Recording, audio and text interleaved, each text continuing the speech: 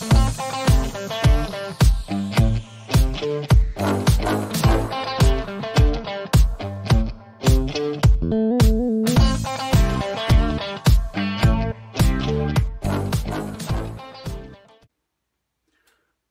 galera, beleza? Vamos então para mais uma aula da nossa EBD, EBD dos Jovens, vai ser uma aula top.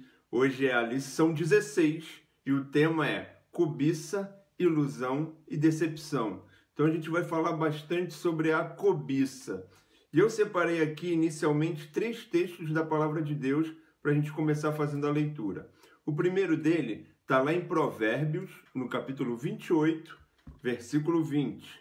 Provérbios, capítulo 28, versículo 20.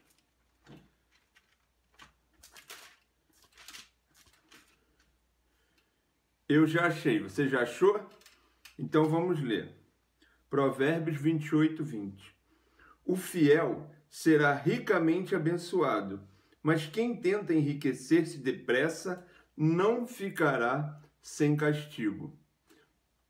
Eu separei também lá no Novo Testamento, 1 Timóteo, capítulo 6, versículo 10. Abre aí sua Bíblia. 1 Timóteo, capítulo 6, versículo 10. Diz assim: Pois o amor ao dinheiro é a raiz de todos os males. Algumas pessoas por cobiçarem dinheiro, desviaram-se da fé e se atormentaram com muitos sofrimentos. E ainda, voltando para o Antigo Testamento, lá no comecinho, Êxodo, capítulo 20, versículo 17. Êxodo, capítulo 20, versículo 17 diz assim: não cobiçarás a casa do teu próximo, não cobiçarás a mulher do teu próximo, nem seus servos ou servas, nem seu boi ou jumento, nem coisa alguma que lhe pertença. Esse é o décimo mandamento, é, os dez mandamentos quando Deus deu para Moisés. Então, o décimo mandamento fala sobre a cobiça. Não cobiçarás. E o que é a cobiça? E é claro, né? como na maioria das lições você já deve ter acostumado, eu sempre procuro os conceitos. E aí eu procurei o conceito de cobiça. E aí eu achei aqui algumas definições. Cobiça é o desejo desmedido pelo poder, dinheiro, bens materiais, glórias, etc. Ou seja, desejo desmedido me lembra um descontrole, é um desejo descontrolado pelo poder, pelo dinheiro, por bens materiais e por glórias. É o desejo imoderado e inconfessável de possuir o que geralmente não se merece. É o desejo forte do que os outros têm. Ou seja, se é algo incontrolável, se é algo que te domina, então, meu irmão, é pecado. A cobiça é pecado. A cobiça é um pecado secreto do coração. É algo muito sutil. Não é muito fácil de, de identificar, porque a gente não consegue identificar visualmente. Ou seja, uma pessoa pode vestir uma capa de santidade, mas está com o coração cheio, coração podre, cheio de cobiça. Eu mesmo poderia estar aqui dando essa lição maravilhosa e você ficar aí do outro lado admirado, mas no meu coração está cheio de cobiça, eu cobiçando algo aqui do meu vizinho, a mulher que passou, enfim. A cobiça é um desejo de possuir o que não é meu, o que não é seu, o desejo de possuir o alheio. É o pecado da ingratidão. Cobiça tem a ver com ingratidão. Por quê? Porque quem cobiça não valoriza o que tem. É aquela pessoa que está sempre demonstrando uma insatisfação, um descontentamento, nunca está feliz com o que tem, ela está sempre desejando e desejando ardentemente aquilo que ela não tem, aquilo que ela não pode ter. A pessoa que é dominada pela cobiça, ela é movida por uma ganância insaciável. Ela busca ter o que é do próximo. Você sabia que a queda do homem ela começou com a cobiça? A cobiça daquilo que não era dele? Né? Lá em Gênesis capítulo 3, versículo 6 diz o seguinte: Quando a mulher viu que a árvore parecia agradável ao paladar, ao paladar era atraente aos olhos e, além disso, desejável para dela se obter discernimento, tomou do seu fruto, comeu-o e deu ao seu marido, que comeu também. Ou seja, Satanás atiçou a mulher e disse que se ela comesse e o homem comesse, eles seriam o quê? Iguais a Deus. E aí gerou a cobiça no coração de Eva, no coração de Adão, que desejaram, então, pô, se eu, quero, se eu for ser igual a Deus, então vou comer o fruto. Cobiçaram aquilo que não era deles, não era a posição deles. A beleza, ela também é uma porta para a cobiça. A gente tem vivido aí os nossos dias, dias atuais, uma ditadura da beleza, onde existe um padrão e esse padrão ele é fortemente massificado e as pessoas ficam enlouquecidas atrás desse padrão, gerando uma cobiça e elas ficam insatisfeitas com elas mesmas, porque não conseguem atingir esse padrão. Lá em Provérbios, no capítulo 6, versículo 25, diz: Não cobice em seu coração a sua beleza, nem se deixe seduzir por seus olhares. E aí o, o autor de, de, Provérbios ele está é, identificando aqui uma mulher que ele chama de mulher é, infiel, mulher adúltera, uma prostituta, enfim. E a verdade é que a gente muitas vezes tem vivido é, debaixo de uma ditadura que a mídia, que os meios de comunicação têm colocado sobre a nossa vida, e a gente tem aceitado isso e tem buscado é, incontrolavelmente é, seguir esse padrão, se encaixar nesses padrões. E isso gera uma loucura, porque é algo que muitas vezes é inatingível, gera uma insatisfação. Você não fica satisfeito com seu corpo, com seu físico, você tem sempre um padrão que eles ficam empurrando, e aí você vai desejando isso, você vai cobiçando isso, você vai perdendo o controle. Né? Quantas celebridades aí que a gente vê na mídia que vão parar em hospitais. Né? Eu me lembro de uma, não recordo o nome dela agora, parece que ela até se converteu. É, a mulher foi parar no hospital, quase morreu porque ela tinha implante em tudo quanto era lugar do corpo, nos seios, é, no rosto, é, implante na, na panturrilha, e, e aquilo tudo foi desencadeando um problema sério de saúde. Por quê? Por causa de um padrão que a pessoa quer atingir e está sempre insatisfeita. Né? Quantas pessoas aí morrem numa mesa de cirurgia porque não tem dinheiro para pagar um profissional adequado, mas elas querem obter um padrão de beleza.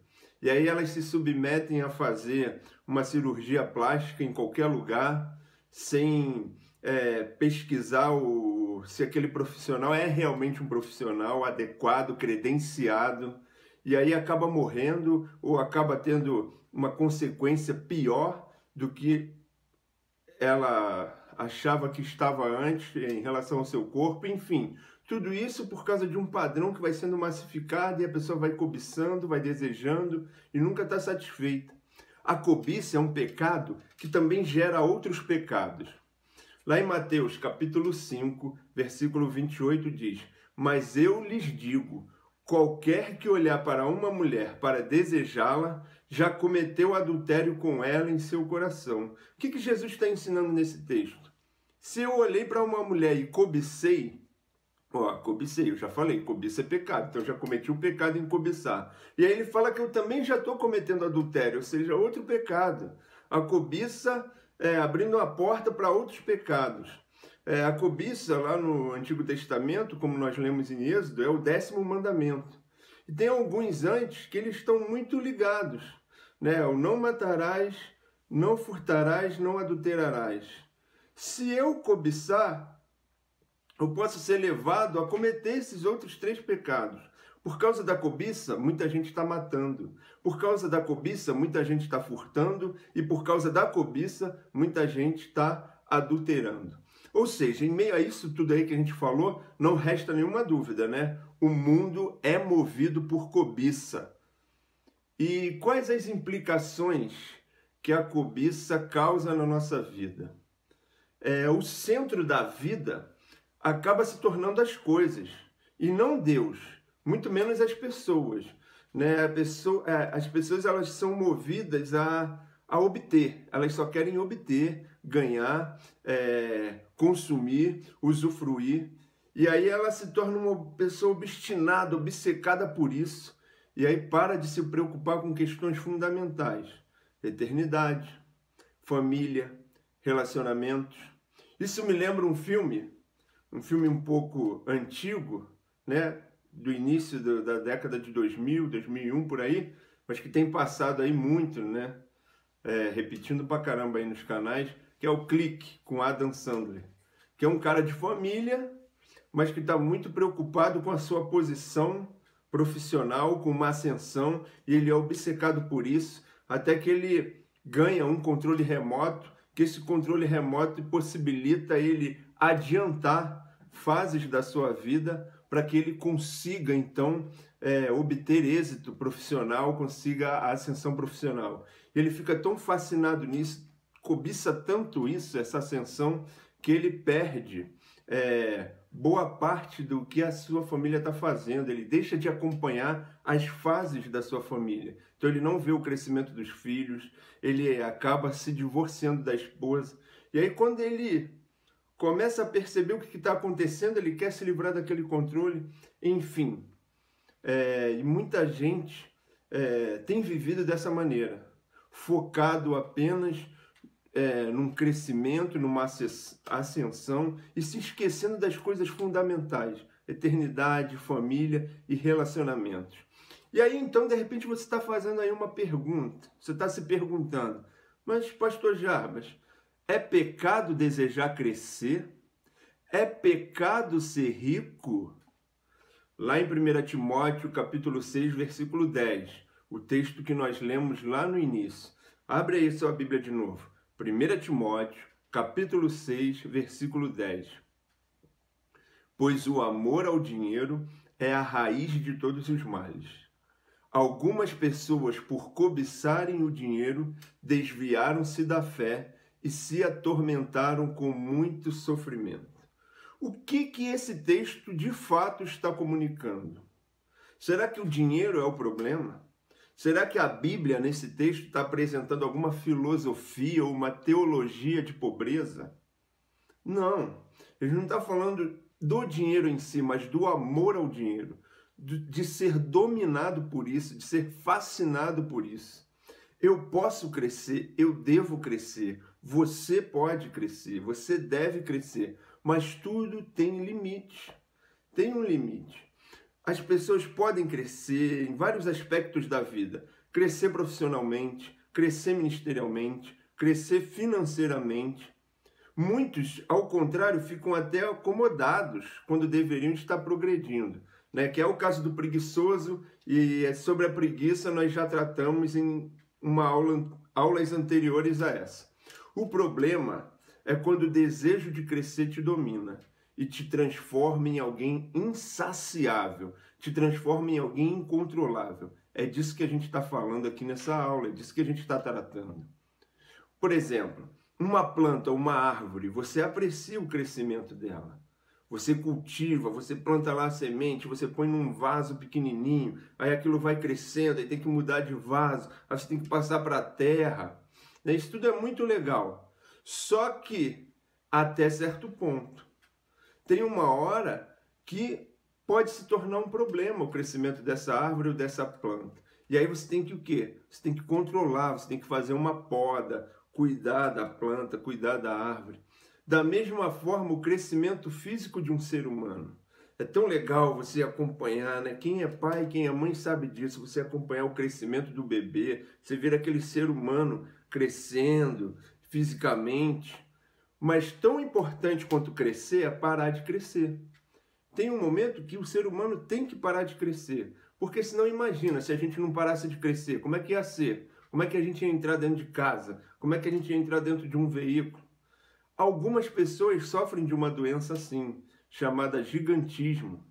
Elas crescem tanto que aí tem uma enorme dificuldade de se adaptarem aos ambientes, de se adaptarem com os objetos do cotidiano. A cobiça também é assim. ela leva a gente a um crescimento desordenado, a um crescimento incontrolável. Satanás pecou porque queria crescer, queria ser igual a Deus. E aí, depois de pecar, ele sugeriu a mesma coisa para o homem e para a mulher no jardim do Éden. Na Bíblia, tem uma história muito interessante que eu gosto muito, que está lá em Números 16. Quando Israel estava passando pelo deserto, e aí aconteceu uma revolta. Essa revolta foi liderada por Coré, Datã e Abirão. Coré, ele era um levita, só que ele queria ser sacerdote. E se a gente estivesse lá, talvez a gente iria apoiar Coré.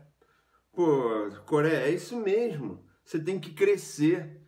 Que problema que tem desejar crescer? Coré, ele queria crescer no ministério, progredir, ser promovido. Talvez seria essa a nossa posição. Só que isso não era permitido na lei de Deus naquela época. E nem era o chamado de Coré. Coré foi chamado para ser levita. Aquele desejo era ilegal. Os sacerdotes só poderiam ser sacerdotes aqueles que fossem da família de Arão, descendentes de Arão. De Arão e daí para frente os seus filhos. Só eles poderiam ser sacerdotes. E esse não era o caso de Coré. Só que ele insistiu nisso, criou uma revolta e qual foi a consequência? Coré foi morto pelo próprio Deus acabou sendo engolido pela terra. Então é preciso ter muito cuidado.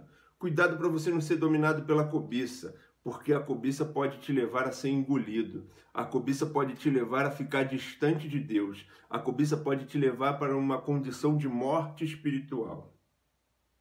Então, o que, que te leva a, a cobiçar?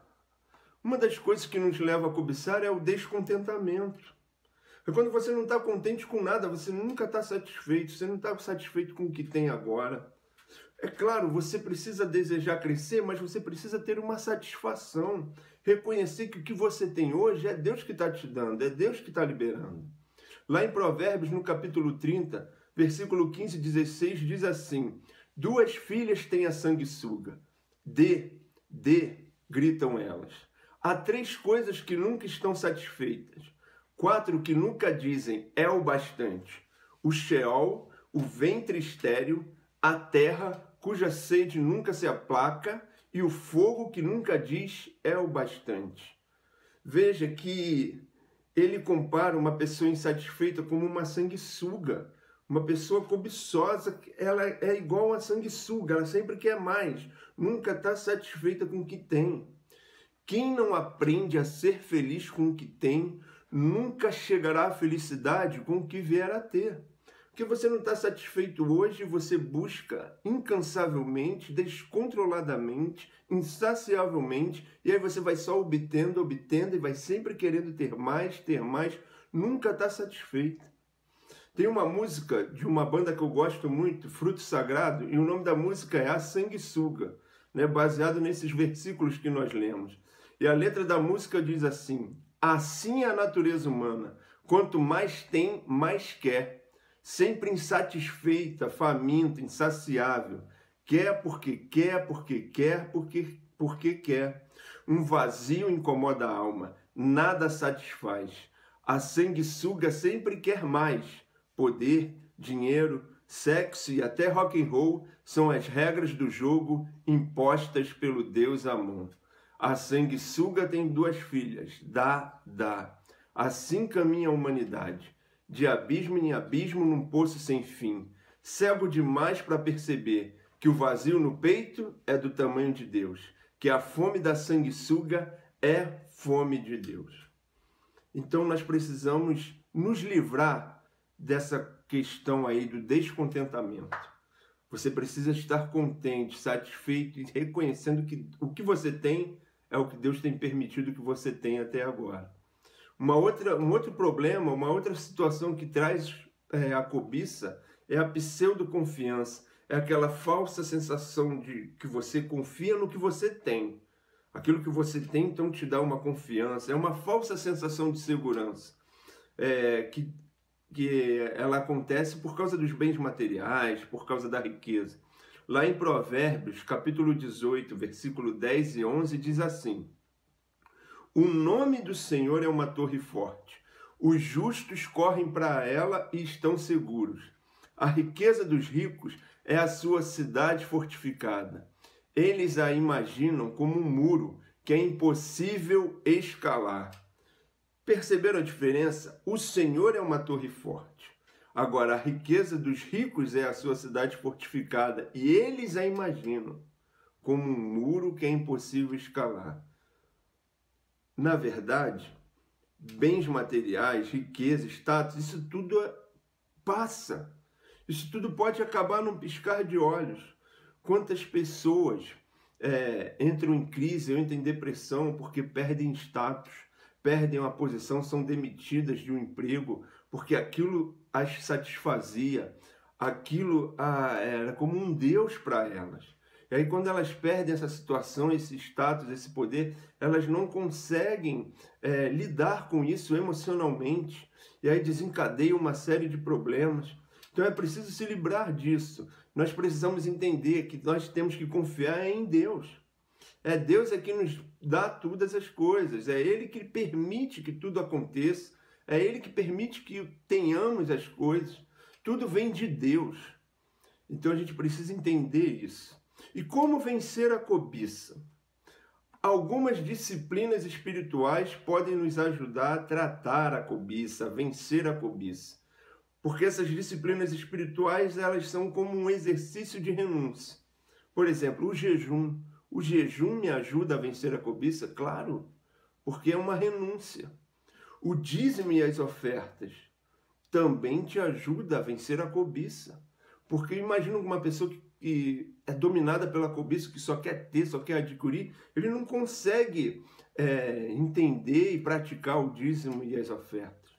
Então, quando você se disciplina né, na, na questão da entrega, da consagração do dízimo e das ofertas, é um ótimo tratamento contra a cobiça. A doação também, o perdão. O perdão se trata de uma renúncia, o perdão se trata de você abrir mão de um direito teu. Isso te ajuda também a vencer a cobiça.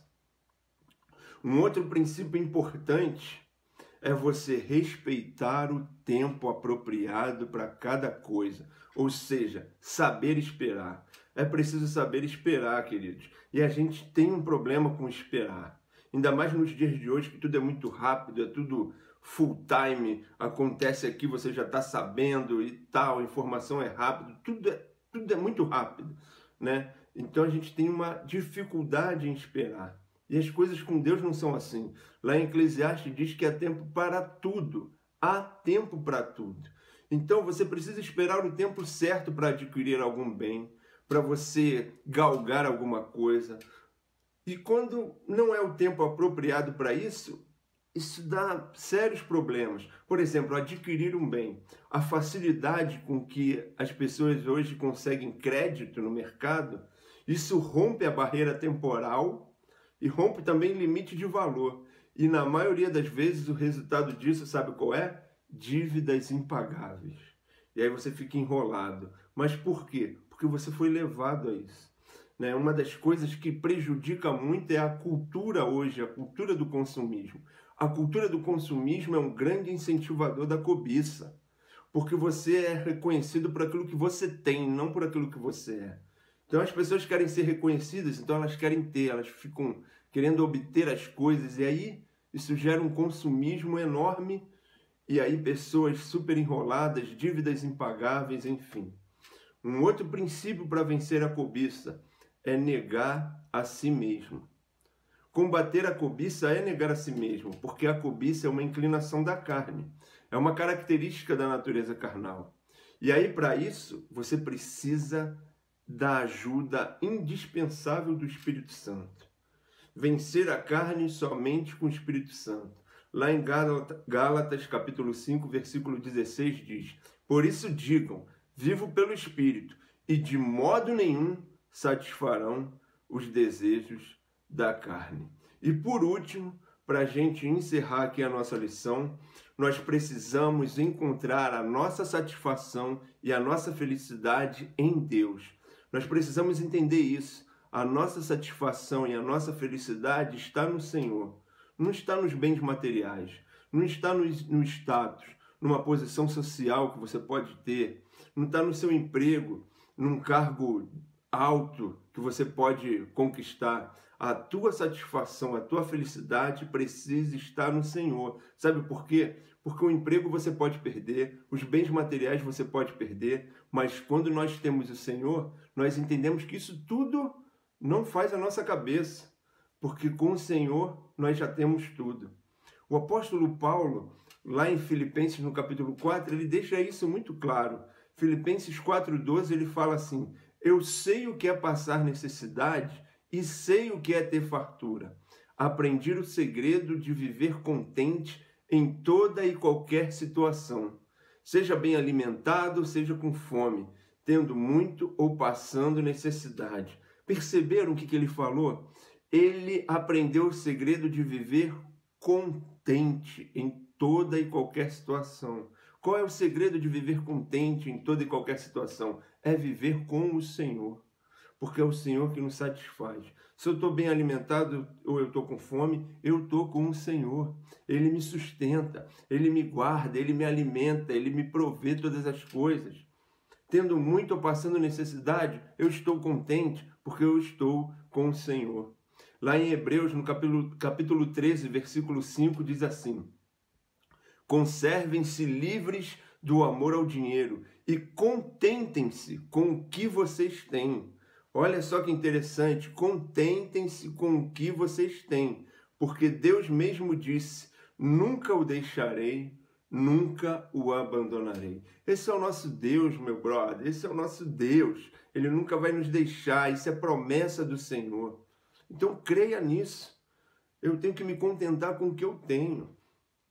Lembrando, não é pecado desejar crescer, mas eu preciso estar debaixo da orientação de Deus.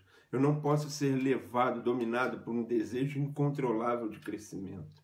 Tudo é com equilíbrio, tudo é com moderação. E para a gente encerrar, eu gostaria de ler o Salmo 131.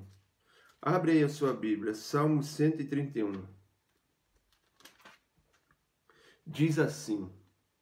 Senhor, o meu coração não é orgulhoso e os meus olhos não são arrogantes. Eu não me envolvo com coisas grandiosas nem maravilhosas demais para mim. De fato, acalmei e tranquilizei a, tranquilizei a minha alma. Sou como uma criança, recém-amamentada por sua mãe. A minha alma é como essa criança. Ponha a sua esperança no Senhor ó Israel, desde agora e para sempre. Esse é um salmo que foi escrito por alguém que entendia que a sua felicidade, o seu contentamento estava no Senhor. Então que seja assim a tua vida daqui para frente. Não seja dominado por um desejo insaciável de crescer, de ter as coisas. Seja dominado pelo Espírito Santo de Deus. Amém? Então é isso aí. Que essa lição é, acrescente, agregue à sua vida, que você deixe ser dominado pelo Espírito Santo de Deus. Beleza? Então é isso. Divulgue a nossa aula, dá um like também para que essa aula possa alcançar mais pessoas, mais vidas, mais jovens sejam abençoados. Valeu, galera!